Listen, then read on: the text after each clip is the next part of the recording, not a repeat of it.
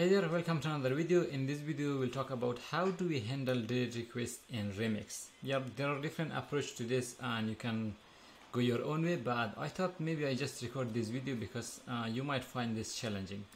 Um, I also did some update on the dashboard and you can see this is the new dashboard.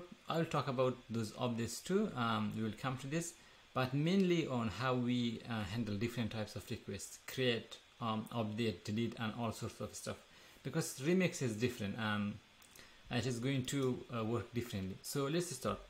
Uh, the first thing I will do is I will go to the storefront and I'm going to preview the theme because we are running this on a preview theme and see what I have done. This is the theme that I am previewing. I will just right click preview and in the code um, if I come to my code nothing has changed here um, except if I go to extension wishlist icon go to the block and this is the wishlist icon that we have. So I'll close the sidebar. Uh, we can see everything here. So here is what I have done. These are all JavaScript and Alpine JS stuff. Um, there is a full video on Alpine JS in the channel that you can watch or you can just go through the documentation. Very easy. We just add a click and also we add a debounce um, to make sure people are not like clicking clicking. So debounce will send only one the request only once so it is going to call this function add wishlist this is going to be the svg icon and this will be the text that will be displayed. But you can customize it and add more option to this. This is just an example of different types of settings we have. So our component ca called wishlist which is at the bottom here. Here's what i have done. On initialize this function will run. So when the page refresh it is going to send a request to our app this is the app url and then it is going to send the customer id product id and also the, the domain.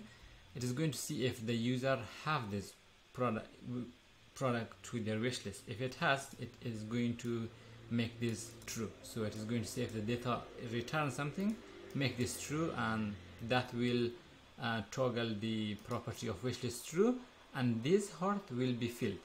That's the one first thing I did uh, you can have your own approach. Of course in real life you will cache this uh, request and for every refresh you are not going to heat up your server. You will do a lot of caching but for now that's fine for us. This is the function that we are calling. If the customer is not logged in, we just alert and return. So that is normal in the previous video. Here's what I have done. We create a form uh, data in here and we put the customer ID product ID shop and also we append another state here called action. You can call this anything like intent or anything. I call it underscore action because why we put underscore? Because form has an action attribute. I don't want to confuse it with that. Action it has a value of create by default. And I say if the wish list is true means we have it in the wish list let's make the action to delete. Um, this is how it works. If I come to one of the products for example this middle one um, let's check this is the wish list. We don't have it in the code I'm going to open the inspector to see everything is working properly and I'll move this at the bottom.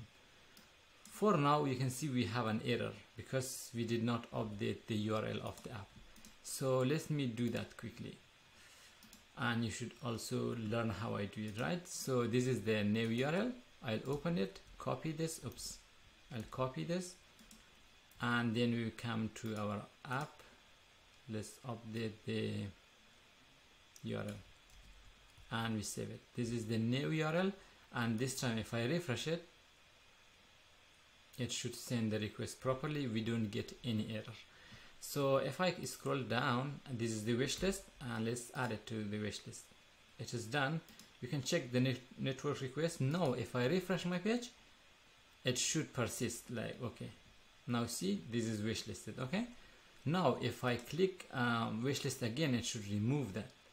That's why if I go to the network tab I can see I click on this it is going to send the same post request this time with the payload I have the action of delete.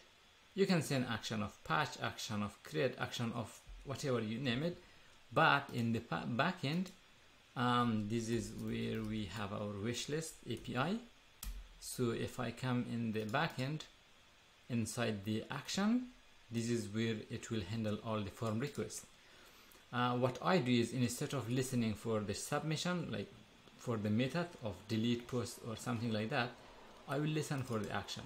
Here's the data. I will listen for the action. If that is create, then you can create the wish list.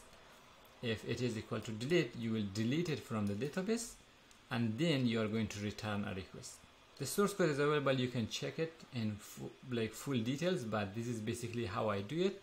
It looks clean for me for now but you can refactor it if you can do it better cool that is uh, one update I did and that is how you can um, handle different type of requests with only one action so action function so if you have your own instead of like you say patch I don't have a patch request but you can just change the action value to patch and then you can handle that directly here. Whatever um, makes uh, your application uh, easier so you will do that. That is one thing. And the other thing is if I come to the backend of the app this is the wishlist uh, overview. I just added some text here. You can find the course channel and everything and also this is the empty state. Um, let's find where this is. So if I come and search for index I think it is in the index page. Yep it is right here. Manage your wish list. So here is what I have done. I have this data table. It is a Polaris component that accepts some data. So I will pass the wishlist array. Wishlist array is coming from database and if this does not if wishlist data is empty we are displaying empty state. Empty state is also a Polaris component. You can check it in the documentation of Polaris. Let me go to the icon. Um, but yeah so you can go to the empty state. This is the component that I have used. And it has different styles but you can customize it the way you want but this is the, the empty state but if it has some data then display it in the data table. Again um, this is where I get the information from. On load we have this loader function and it is going to get data from database. We import the DB we learned that in the previous videos and then we pass uh, we return that as JSON. Once you have this inside your component you use the data loader put a wishlist data and then you will map through them and convert them to an array because um, table data accept array so we just do that. If you have an object you can use index table which is another component. Let me quickly show you what I mean. If I come here um, scrolling down in the table section you have data table. You can see this is how you display the table.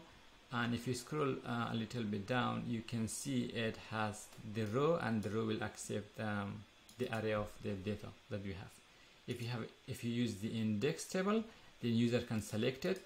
They can do different types of like bulk action if you want to delete it. For us we are just displaying the data and that should work.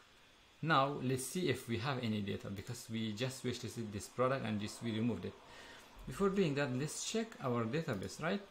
In here I'm going to come and run npm run prisma studio uh, let's run prisma studio. We don't have any data. Let's add some product to the wish list to see if this is working or not. Okay cool. This one worked let's go to this product. Add wish list.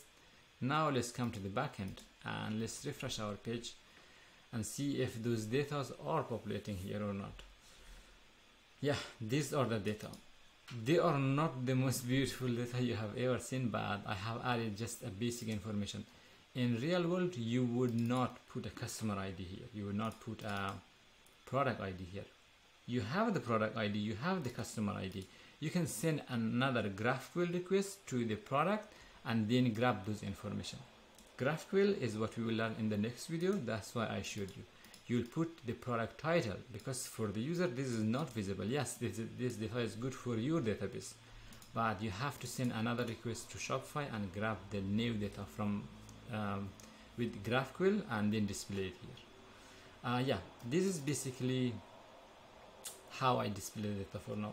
You can check out the source code, modify it however you want, but make sure the data is beautiful and you also check the documentation on the Shopify website if you go to the content um, let me go to the design.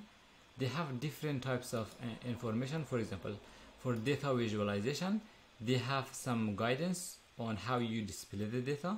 If you are using chart or anything else if you go to the pro design you also have some design um, inspiration here. You can use some of them for your data. But for us you get the idea of how you display the data. Again if I come here nothing too fancy we just get the data we sort it and these stuff are like basic uh, Prisma. So yeah this is what I have done. And in the next video you will learn the basic of GraphQL and how you interact with the data directly from um, Shopify admin. And also in the pricing uh, we are going to work on the pricing too. User should be able to upgrade to the plus. That is the future video and we will come to that too yeah thank you for watching. I will see you in the next video